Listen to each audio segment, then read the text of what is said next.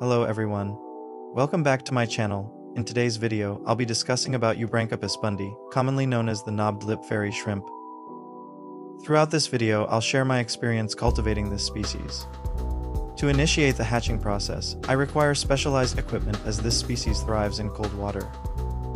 Most cold water species, including this one, require temperatures between 0 to 15 degrees Celsius for successful hatching and optimal growth. For this setup, I've installed a water chiller that can maintain temperatures between 7 to 15 degrees Celsius. Additionally, an insulated tank helps to preserve a cool environment. Before introducing the eggs to the tank, a crucial step involves freezing the soil containing them and allowing it to thaw. According to a research paper I recently studied, these eggs hatch beneath the ice, with the young fairy shrimp enclosed in a membrane developing until they hatch when the ice melts. Unlike many fairy shrimp species, these hatchlings emerge at a more advanced stage known as metanauplius. Metanauplii are a crucial phase in the life cycle of fairy shrimp. They're a more developed stage compared to the initial nauplii, which is where most fairy shrimps start after hatching from eggs. Cold water species like Eubranchipus tend to inhabit habitats that reliably fill with water each year. This consistent environment may have led these species to evolve a greater investment in their offspring. The characteristics of metanauplii align with this adaptation, making them well suited to their specific ecological niche, especially in situations where the pool is not expected to dry up soon. The first hatch occurred after about three days from adding the thawed soil, more hatching occurred in the days following. They are orange to yellow in coloration, having jerk-like motion to swim around.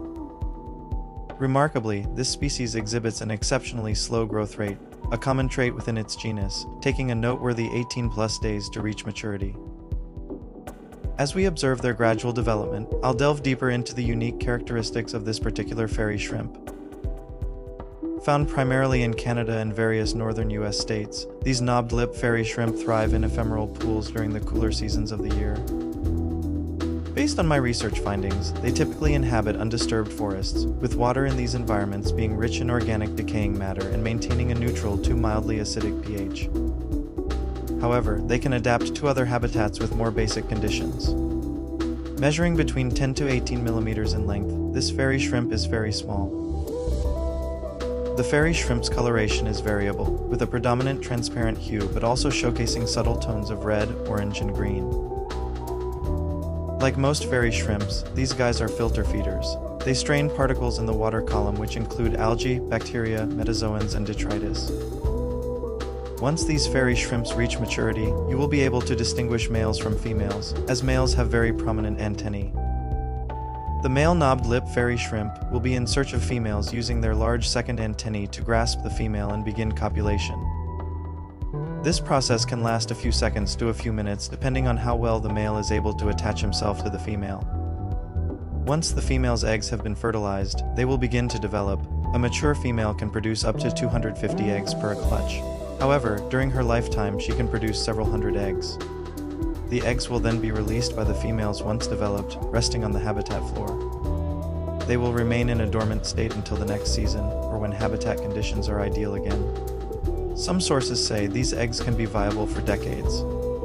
For the knobbed lip fairy shrimps, once the temperatures start to exceed to 15 Celsius, their populations begin to decline. This is because warm water holds less oxygen, and these species require higher oxygen levels. Additionally, there is an increase in predators within their habitats. This basically completes their life cycle until the next year. Now, as I mentioned, these fairy shrimp grow remarkably slow, Feel free to continue watching the rest of the video and witness their gradual growth. I genuinely enjoyed cultivating this species. They are exceptionally beautiful. If you'd like more content like this, kindly give the video a thumbs up and subscribe to my channel. Feel free to drop a comment if you have any questions.